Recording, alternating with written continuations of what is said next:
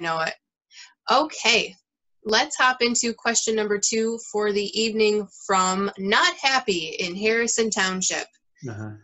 And Not Happy writes A realtor is telling me that I have to sign a mutual release with a potential buyer when my counter offer to their purchase agreement was never accepted. Is that right?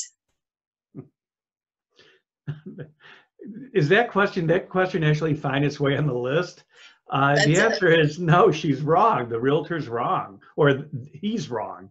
Mhm. Um, uh, you know, if there's, uh, there's no signed contract, uh, there's no agreement, you don't need a release. I don't know what that person's talking about. But, you know, I, I'll tell you, uh, and let's be, let's make it easy, kind of like the other question related to the title agent. Um, there are some great real estate agents out there, uh, just like there's so many great real estate professionals, attorneys, uh, title companies, appraisers, you know, investors. Okay, but the the the access or the threshold to become a realtor is not very high.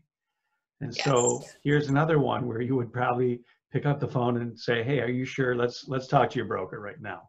All right? Yes. No- nothing's happened. There's no Mhm. money to release. There's no, you know, now if you have a purchase agreement that's signed and let's say there's no money, you may, and then something falls apart, yeah, you're going to want to have a release because there's a contract there. It's been Mhm. signed, but there's nothing here. Move on. Yes. Wow. No. That's pretty easy. Yeah, that that those that one was pretty a easy. new law clerk who's putting these together. I know. Usually they give us some pretty tough ones, you know? All right, maybe number three will be a little more meaty. Let's dive into